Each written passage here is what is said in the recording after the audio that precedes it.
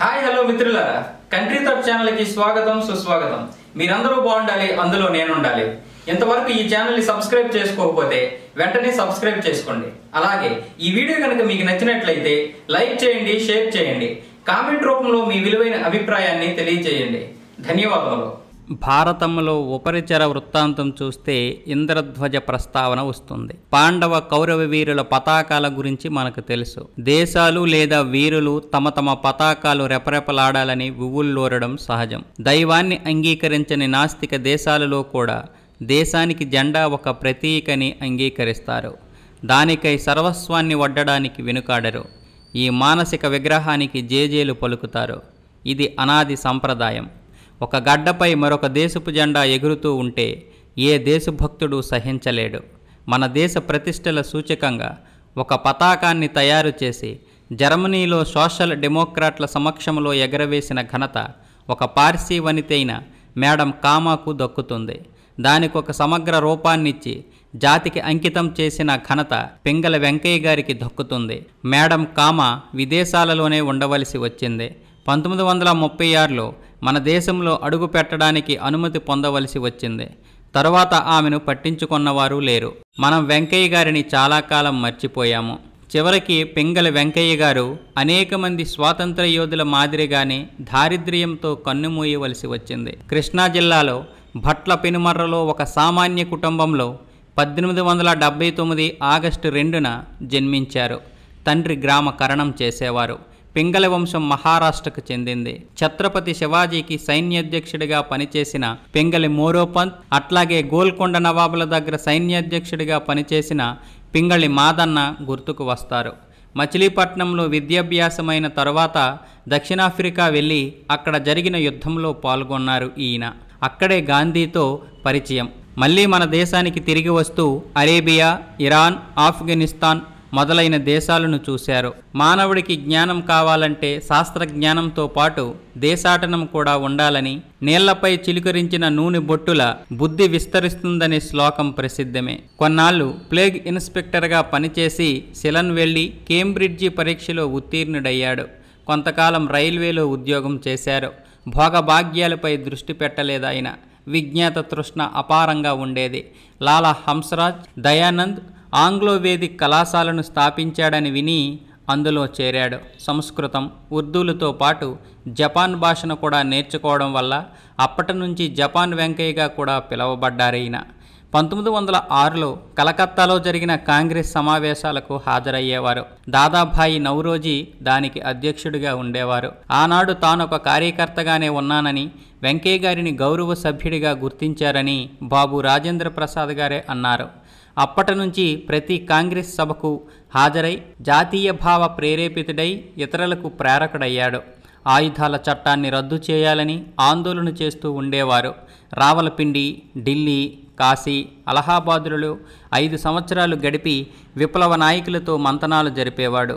దేశ యువకులకు సైనిక శిక్షణ అవసరమని వీర సావర్కర్ అన్నట్లుగా ఇతను కూడా దానిని గట్టిగా ప్రచారం చేశారు.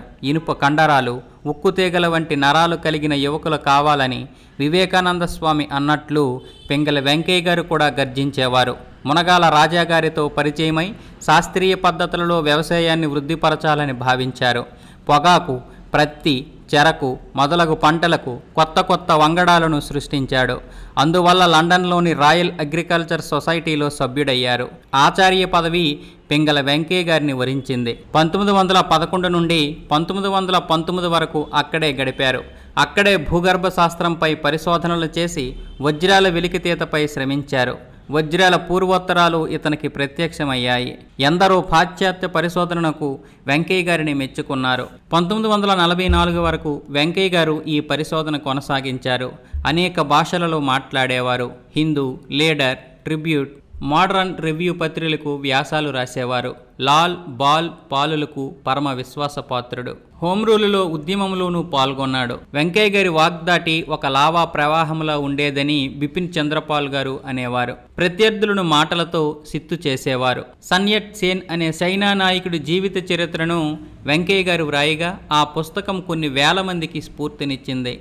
దలైలామా భవిష్యత్ ఏమిటో దానిలో వివరింపబడింది. ఇతను చెప్పినట్లే చైనా వారు టిబెట్ను ఆక్రమించారు. చైనా నుండి టిబెట్కు ముప్పు ఉందని పటేల్ గారు హెచ్చరించిన నెహ్రూ గారి పెడచెవిన పెట్టినట్లు మనకు తెలిసిందే. ఆ సన్యట్ శ్రేణిని మంచూరియా రాజ్యం వారు ఎత్తుకుపోవడాన్ని బ్రిటన్ ప్రజలు అడ్డుకోవడం వల్ల తన పుస్తకాన్ని ఇంగ్లాండ్ ప్రజలకే వెంకయ్య గారు అంకితమిచ్చారు.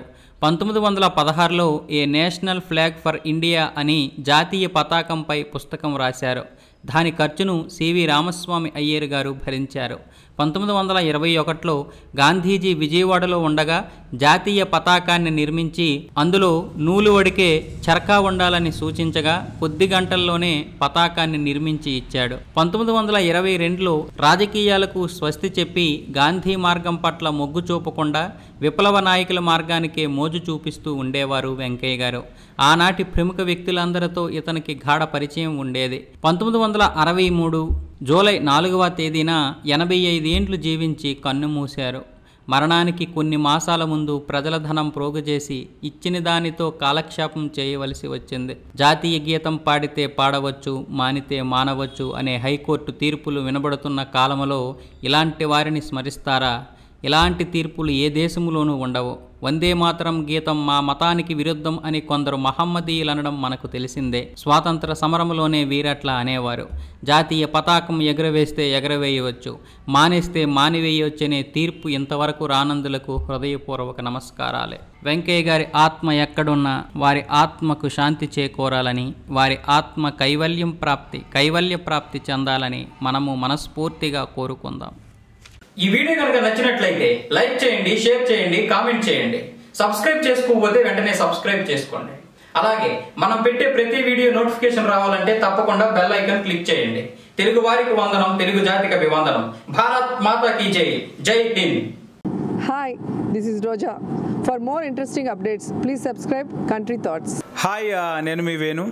మీ అభిమాన హీరోల బయోగ్రఫీ కోసం please subscribe Country Thoughts hi friends నేను మీ రచరవి ఫ్రెండ్స్ మీకు ఇంట్రెస్టింగ్ వీడియోస్ కోసం please subscribe Country Thoughts hi అండి నేను మీ fun bucket Bharath please subscribe to Country Thoughts hi friends నేను మీ Devenani please subscribe Country Thoughts Please subscribe and share Country Thoughts. Hi అందరికీ నమస్కారం. నేను మీ Madhupriya. Please subscribe to Country Thoughts YouTube channel